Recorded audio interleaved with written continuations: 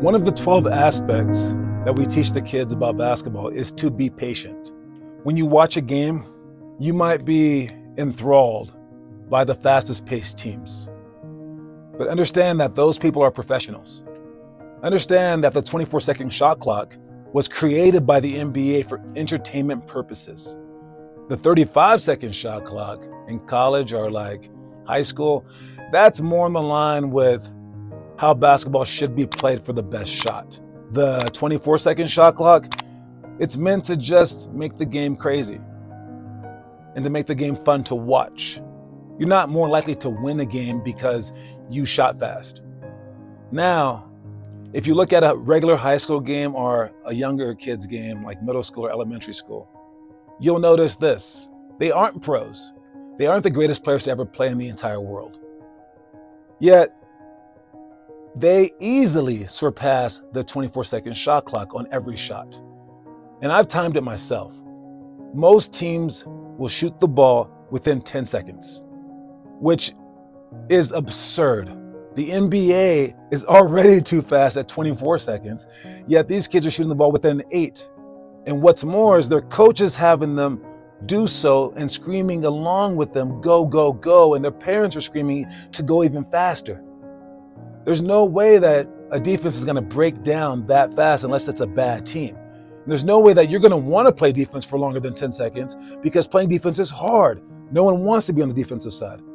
So, to combat this, we have a rule of thumb. All right, and the rule of thumb is this it goes 0, 50, 100. All right, now I love saying it like this, so bear with me. It's going somewhere. The first time that you catch the ball, you want to shoot, pass, or drive 0% of the time. Now, when I say shoot, that means um, like shoot any shot. Pass, meaning pass for an assist. Drive, meaning to like just drive to the, to the basket and try to do something. You want to do that on the first time that you touch the ball. You want to never do that. So 0% of the time. Now, again, bear, bear with me. The second time that you touch the ball, you want to do one of these things 50% of the time. The third time that you touch the ball,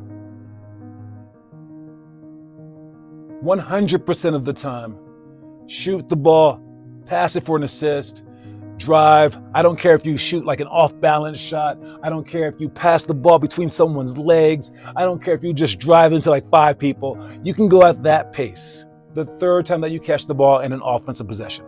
Okay? Because the first time that you touch it, you might be open. Second time that you touch it, you're probably going to be more open. The third time that you touch it, you're going to be like probably wide open.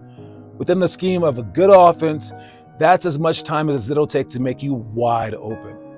All right? So be patient in that regard. Now, you can break this rule five times. You can break this rule five times. You can come down the court and just chuck the first three three that you see. It can be the first play of the game. I don't care. All right, you can you can shoot it immediately.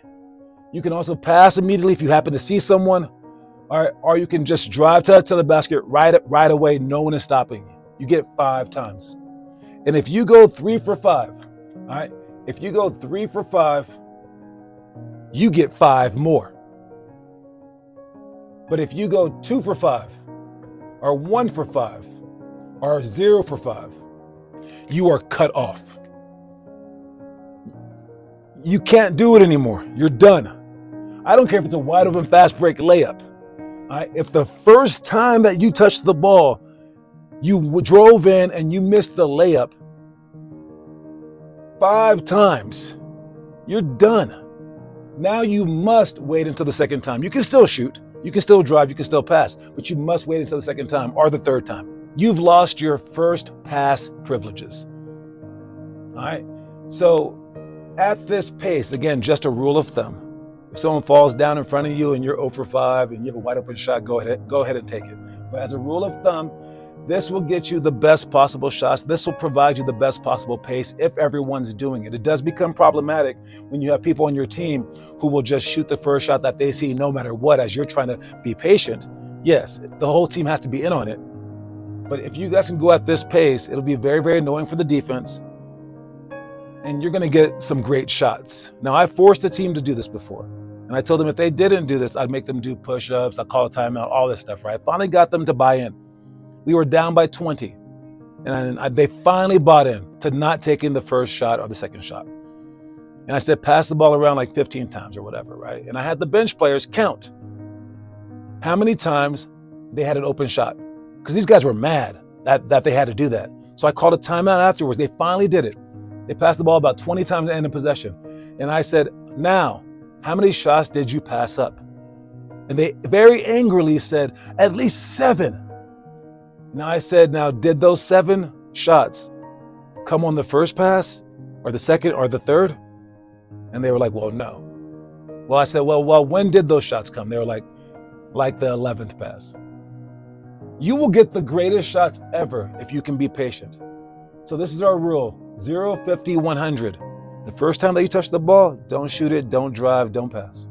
Just swing the ball easily. Second time, 50% of the time, do one of those three things. The third time, 100% just go.